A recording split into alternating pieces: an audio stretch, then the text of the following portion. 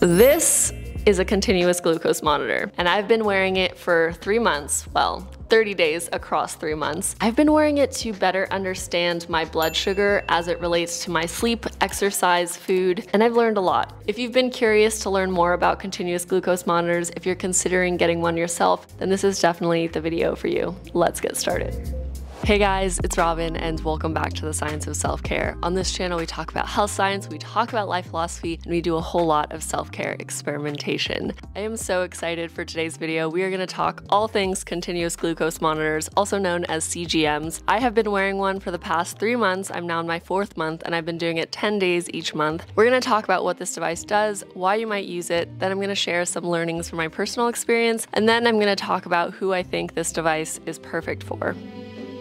So what is a continuous glucose monitor? A CGM is a device that you typically insert into your arm that essentially has a little tiny filament in it that goes into your skin and measures your interstitial glucose levels. This means that this little filament is sensing how much sugar is in the fluids that are surrounding your cells. So it's not going all the way to the blood, it's not actually measuring your blood sugar, but our interstitial glucose level is a pretty good representation of our blood sugar. So essentially it's a proxy to know what your blood sugar is. It sounds kind of scary to have something in your body, but it's actually quite simple. You attach this this little plastic applicator. You push down the button and really fast a tiny little needle will insert the filament and then the needle comes right out. You don't even really feel it. This filament is a lot more flexible than an actual needle in your body and so it allows you to move around and it moves with your skin. It's really not painful at all.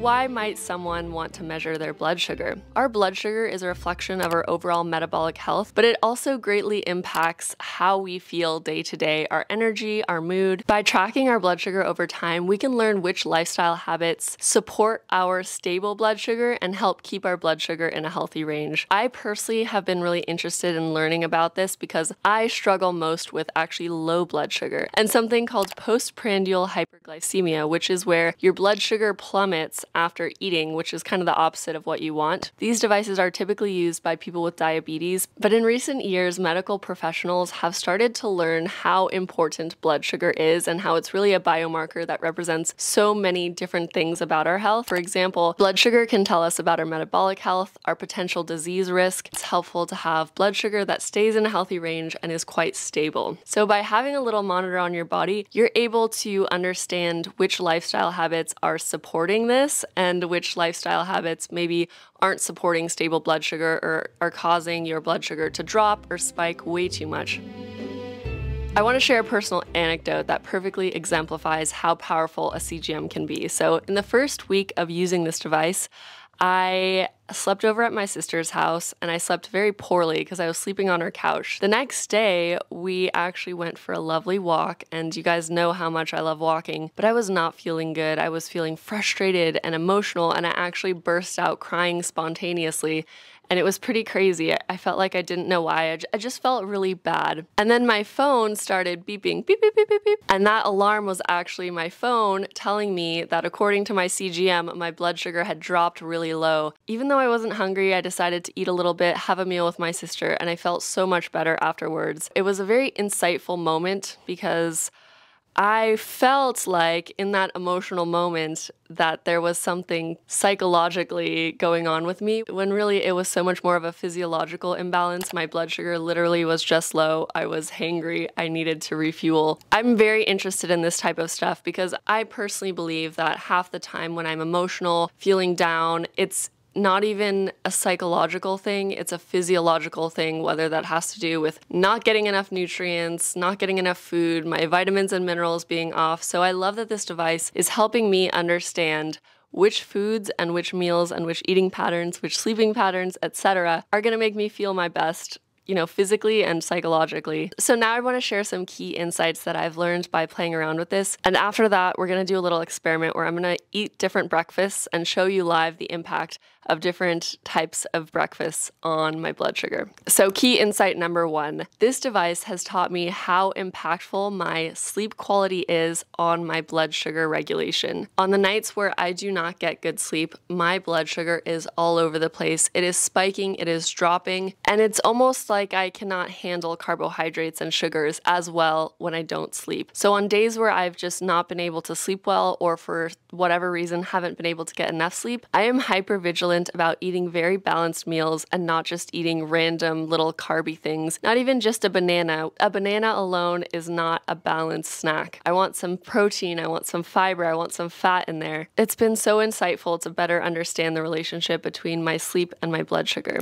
Another thing that I've learned from this experience protein preloading is a really helpful habit for helping me manage my blood sugar. Now, I've talked about protein preloading in the past because I've been doing it for years, but basically, protein preloading is the idea of eating a portion of protein before you eat your actual meal. And I especially practice this around breakfast time because breakfast is the first meal of the day. I really want to start off with blood sugar balance, whether that's a little bit of smoked salmon, you can do tofu, you can do chicken, you can do egg. The idea is just eat protein and then I have my breakfast. That's a protein preload. This is a practice I read about many years ago in different scientific studies. It's commonly used for people with diabetes to help manage their blood sugar. And from my own personal experience, I've intuitively started to incorporate this into my routine because it just makes me feel so good, makes me feel satiated and energized throughout the morning and into the afternoon when I do this for breakfast. But now by having this actual CGM telling me what's going on, I'm able to put numbers to these intuitive practices that I've been doing. Let's go test this on the glucose cam right now. Let's do two days of a breakfast, one with a protein preload and one without.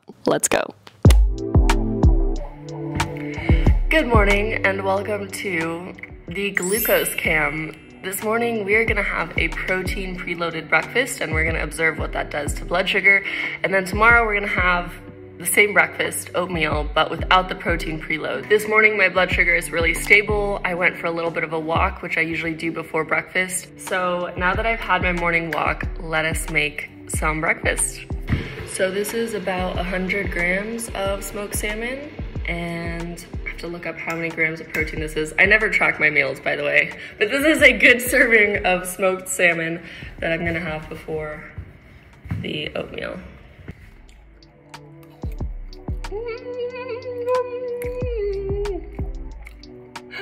It's literally so good.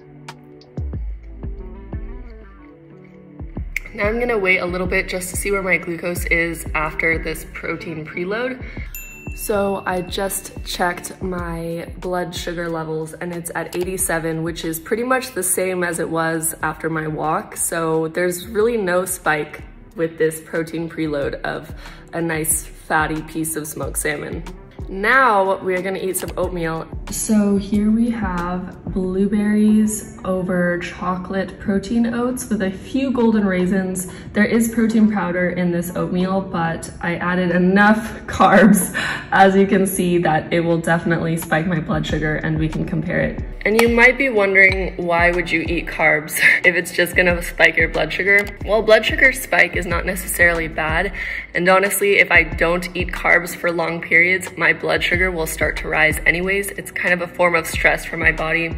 I need carbohydrates to feel good, full, and to function. My total blood sugar actually stays more stable when I eat little bits of carbs, especially something like oatmeal with protein powder. It's a high quality source of carbohydrates.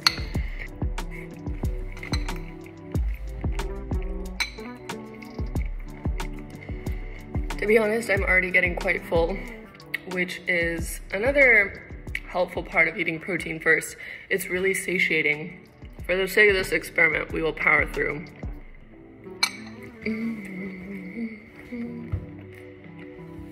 Alrighty, let's uh, observe what my blood sugar does now. I honestly feel very good. The protein preload makes such a difference. This is very random, but one thing I've noticed is that after I eat carbohydrates in the morning, my the puffiness in my face, you know, I usually wake up with a little bit of puffiness in my face, that completely goes away. And it's something to do with my electrolyte balance, my hormones that, that come after eating carbs, but It's just something I've noticed and I'm curious if anyone else has noticed that or if it's just me and if you guys have any thoughts. So it's been a few minutes since I finished my oats and my blood sugar is now at 94 milligrams per deciliter. It is still not a major spike, so I'm, I'm waiting for the, the food to go in and for everything to digest, but I wouldn't be surprised if the spike is quite minimal compared to tomorrow. So I just checked my blood sugar and it's only at 98, not even a real spike. It's not past 100 and it's just incredible. I feel so good, I feel satiated, and I really feel like protein preloading is the best way to breakfast. But let's see tomorrow. I'm gonna have the same oatmeal without the salmon protein preload. Good morning. This morning my blood sugar is a little bit higher than yesterday, just starting off. It's around 90. So I think I'll pay more attention to the difference rather than the absolute value. So let's go.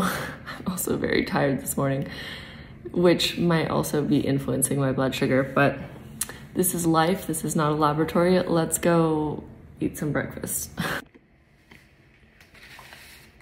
I'm really sad that I don't get to eat smoked salmon before oats this morning. Another day, Another bowl of chocolate oats with a shit ton of blueberries.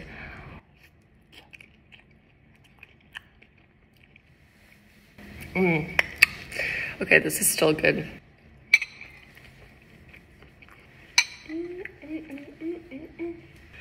So now let us see. Let's see what happens to my blood sugar. So I just started feeling not so great and it's only been 45 minutes since I had breakfast, but I checked my blood sugar and it's at 138. It's so much higher than yesterday. I don't feel great. I feel tired. I feel a little bit like um, my vision is even blurry sometimes when I eat too many carbs at once. And it's just mind blowing how much more of a spike this is. I'm gonna see how high it rises. Maybe it won't rise further, but yeah, protein preload seems to really work for my body and it's so cool that this CGM gives me insight into these numbers that I would otherwise just kind of intuitively be guessing about. Definitely recommend trying protein preloading. Another key takeaway from this whole experience is the power of walking and how that is really helpful for managing my blood sugar. Again, this is all based on my personal tracking, but I think a lot of these principles are going to be true for most people. There's also literature to support these different principles, but walking is known to help us regulate our blood sugar. And I've noticed on days where I'm walking around a city, my blood sugar is super stable. It doesn't drop or spike too much, and it just feels good. But again, it's so cool to have the numbers to back up both the research research and these intuitive things that I've been doing just because it feels good. So, to summarize, three key takeaways for me personally have been that my sleep quality really impacts my blood sugar regulation. Protein preloading really helps me balance the glycemic impact of my meals and thus also balance my blood sugar. And lastly, walking is a great tool to keep my blood sugar balanced and stable throughout the day. All of these different habits have intuitively been a part of my life, but now I've seen the impact on my actual blood sugar. When our blood sugar is stable, we are going going to feel good. We are going to feel energized. I think this tool is for anyone who's not a complete health and wellness newbie, someone who's already investing in their health, but who wants to deepen their understanding of how their different lifestyle habits and different meal choices affect their body. So I think this is going to be too overwhelming for anyone who's just starting out on their health and wellness journey. But if you are already committed to really eating well and tracking things in your life, I think this tool can really ramp up your self learning and help you develop a science based intuition about your body. By getting this constant and immediate feedback through the CGM, it becomes even easier to understand what different states feel like, what it feels like to have low blood sugar, what it feels like to have high blood sugar. And it also helps us understand which lifestyle habits support our stable blood sugar, especially meals, so that going forward, we can just intuitively know what's gonna work for us. So for people who don't have diabetes, this is not a tool you need to be using for the rest of your life, but just a few months of using this can already help you better understand your body and get a lot of insights around food because how I process certain things and my glycemic response to certain meals is going to be different than yours. We are also different. Our genetics are different. Our microbiome is different. So the way that we process carbohydrates in different foods also can vary person to person, which is why one person might be able to eat a bowl of rice and feel super energized and amazing, and another person eats a bowl of rice and feels like they have a crazy blood sugar spike and crash. It's all dependent on the unique context of our body. So I think this is an incredible tool to really ramp up your own self discovery around your body and what works for it. Typically, CGMs are available to people with diabetes and a prescription for a CGM. If you don't have diabetes and don't have a prescription, there is a way to get it, which is how I got it, and that is through a company like Levels. So, what Levels does is that it facilitates access to a CGM for people without diabetes. And full transparency, Levels is the company that has been supplying my CGMs. I've been testing these for free, but I'm going to give you my complete honest thoughts about the Levels app and the whole experience. As always, this is a non sponsored, completely honest review of my experience. You typically need a prescription to get a CGM, but there's a bit of a loophole that you can also get CGMs if you are part of a scientific study. All the data that's being collected about my blood sugar is contributing to scientific research. And I think that is so cool. I love the fact that I'm now able to access CGMs and I'm able to contribute to blood sugar research in non diabetic people. This is really under researched and and I think it's going to have a huge impact on health. And I also really like that they allow you to book lab tests through their app through LabCorp, which I have done in the past outside of levels. For about a hundred bucks, I've got different blood panels just to kind of check on my vitamin and mineral levels. They make it extra easy to do that as well. So this is not connected to a doctor. You can just book a lab test across the United States. I don't think you can do it outside of the United States. I'll have to check on that, but you can just book a lab test to get a blood panel on your hormones or on your vitamins and minerals. And these are just good things to do kind of consistently to kind of see what the state of your biochemistry is. So now a few thoughts on levels that are maybe less positive. I think the app itself is a little convoluted. I had the same complaint with the Lumen app. Usually a company wants to be your one-stop shop for health, so they have different journaling tools and different food log tools and all of these tools that I don't actually need or use. I'm there for my blood sugar and nothing else. I found myself actually using the Dexcom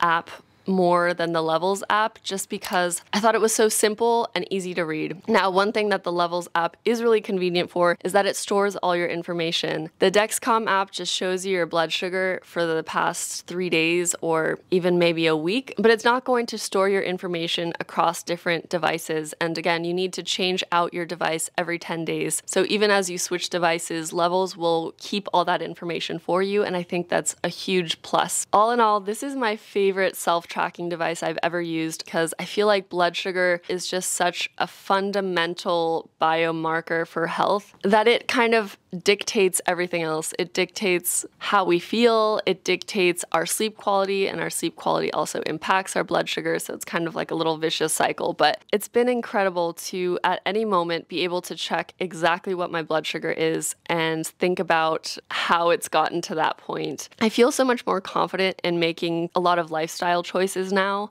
like food choices, like sleep choices, just based on my knowledge that I've gained over the past several months with my blood sugar. So it really helps build that self trust and that science based intuition about what your body needs, what it's doing at any given moment, and how to construct your perfect lifestyle that's going to support you and help you feel your best on a day to day basis. I would love to know if you've used a CGM. Are you interested in using a CGM? Is it something that sounds a bit scary or too much? I always really love the conversations we have in the comments. Enough rambling for me. Thank you guys so much for watching, and I look forward to seeing you next time.